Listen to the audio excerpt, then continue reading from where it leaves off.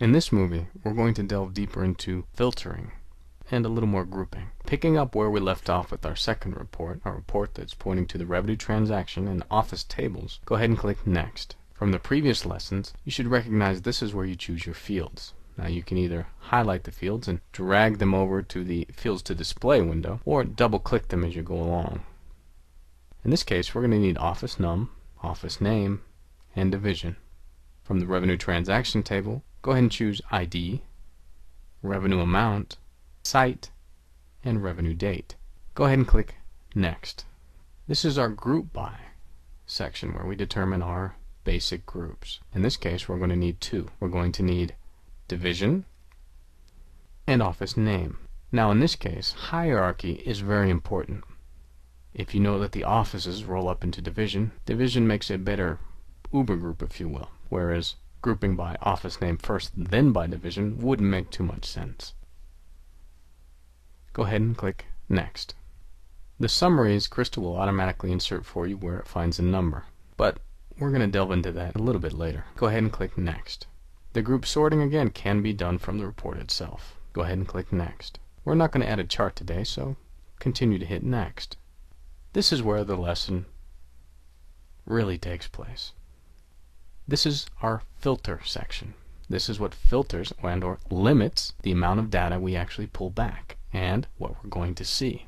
For example, go ahead and either double click on division or drag and drop it into the filter fields window and then highlight it. Notice this drop down box here it says is any value.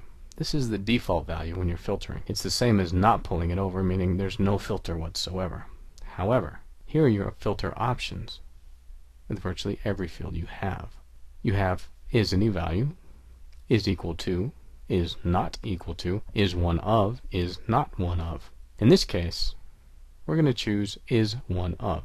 Now, some of these options were essentially designed for numbers and don't work so good with, let's say, text fields, such as the division field we're dealing with. In that case, let's go ahead and choose is one of. Now, I like to issue a word of caution when filtering. Filtering is very important, but you have to be very careful what you filter on. Once you choose is one of, which is a very handy filter tool, you're going to get this drop down box. Now this is where the warning comes in. If you're using this drop down box, which is going to go out and query that exact field from your database, you have to be careful. If you have hundreds of thousands of choices, you're going to have a very large list, and it's going to take a while to get back to you and load on your local PC. So when you click this down button, if you have a large list, it takes much longer. If you have a short list, it's good to go. Now you don't even have to use the drop down box at all. You can type in whatever you want, as long as of course it matches a value that's already populated in that tables field. In this case, now let's say if I decide to fast finger it and say Western as opposed to West. It doesn't really matter because Western isn't a choice in that field. But it also brings up a good point. If you're going to type it in, make sure you have better spelling skills than I do. If you found you make a mistake, it's easy. Simply highlight the one that you wish to change and either add or remove. In this case, we're going to hit remove. Now go ahead and click on office name. Now you can have multiple filters, which is the point. But again, you have to be careful. The filter fields are kind of true statements. By default, they say that if I choose East and West divisions, it's not going to stop me. Let's say, go ahead and choose is one of. If I choose a location outside of East and West, it's going to look at all the filters and assume that they're all true. So if I choose Tokyo, and I go back to my divisions, and Tokyo is not in East or West, then my report will return nothing. However, if I choose something that is in there, let's say Southern California, Southern California is located in the west, and it's on my list here. So I may not get Tokyo, I will get Southern California. I think this is easier to illustrate, so let's go ahead and click Finish, and look at our results. Notice how it didn't pull anything back. That's because the conditions of our filters were not all true. The record set it was trying to pull back could not meet every condition we set forth. Let me illustrate. Take your mouse and click on the Select Expert icon, that's the hand above choosing the marbles, and click on it.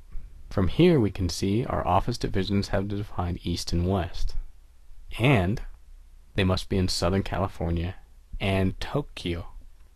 Go ahead and click on the Show Formula. This is what it looks like roughly in SQL. It means all of these conditions must be true. The division must be in East or West, and the name has to be in Southern California and Tokyo. Doesn't make a whole lot of sense. However, go ahead and click on the tab that says Office Name and click on Delete, and then press OK. When it asks you, go ahead and say Refresh Data. Anytime you change your filter selection in Crystal, you must refresh the data, otherwise you're using the saved data from before and you get the same result. Now, our filters have been corrected, in that it is now showing us everything that we've chosen to see in East and West divisions. Also notice this handy guide over here that tells us what our groups are. In the next lesson, we're going to delve deeper into the grouping functions that Crystal offers.